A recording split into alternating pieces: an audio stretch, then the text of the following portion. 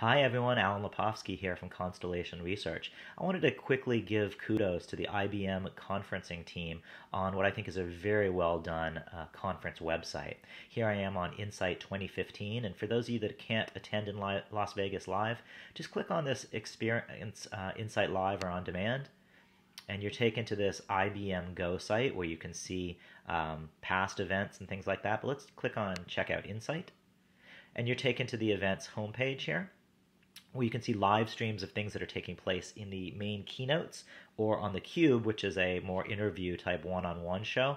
But what i really like is you click on view schedule and they've done a fantastic job here of laying out all of the things that are going to be live streamed by date and time, by description of it, uh, even by who the presenters are. So if you know someone that's speaking that you want to make sure to catch their keynote, you can uh, search for their name up here and it'll take you to it.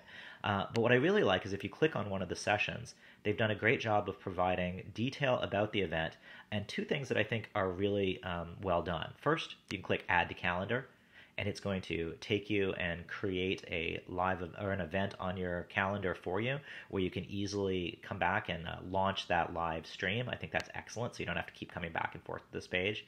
And they've also provided you all of the presenters' LinkedIn and Twitter profiles where available, which again I think is something that's very, very useful. As someone who watches a lot of keynotes, it takes me a lot of time to go find the, the people's correct Twitter address or link to their LinkedIn page if I want to connect with them afterwards.